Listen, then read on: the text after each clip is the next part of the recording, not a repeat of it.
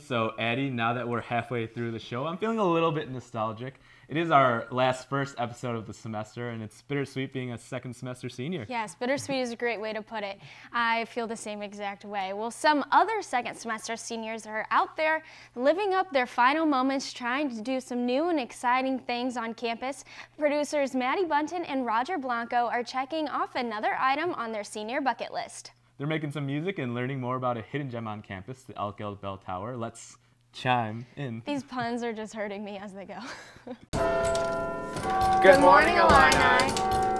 Today, we both had the opportunity to check something off our senior bucket list, and we got to go up in Altgeld in the Chime Tower.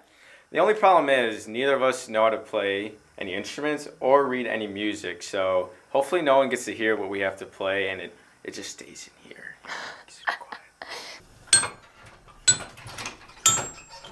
Excellent. We'll do them together.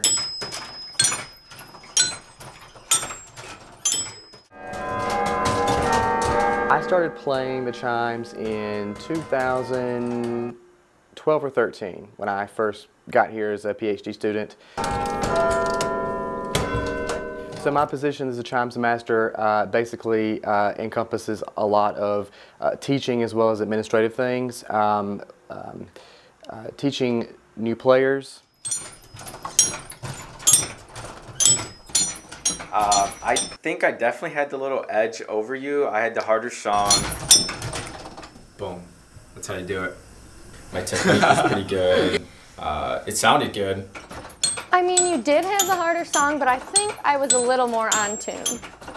Um, so as a chimes player, I come up uh, as often as I can. Uh, typically, I try to go up once a week, and then I perform on the bell tower and just play like songs of uh, various genres, whatever I feel like playing that day, basically. My favorite part is probably uh, just getting to play like to the campus and to the students, especially like around holidays and special events, is like bringing that little bit of extra joy or.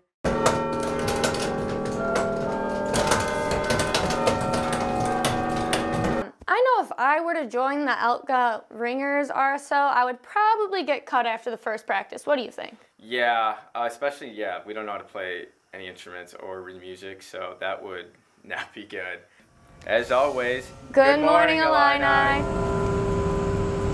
So so talented. All even our producers, they're doing. You know, great Andy, I think one of my biggest takeaways from today's episode is that I got to spend more time out of the studio with Roger because who knew he had all these hidden talents? yeah, exactly. honestly. Roger's Roger, the low key gotta me star know, of the man. show.